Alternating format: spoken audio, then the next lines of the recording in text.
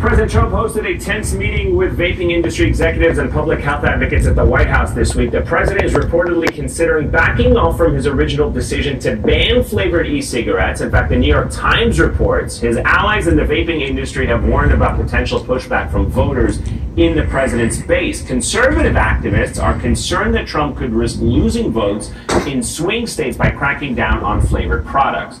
The president seemed eager to follow through with the ban just two months ago. Listen to those remarks compared to what he said on Friday.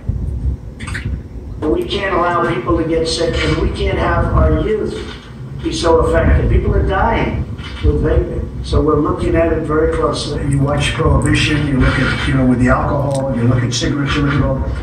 If you don't give it to them, it's going to come here illegally. Okay, they're going to make it. But instead of Reynolds or Juul or you know, legitimate companies, good companies making something that's safe, they're going to be selling stuff on the street corner that could be horrible.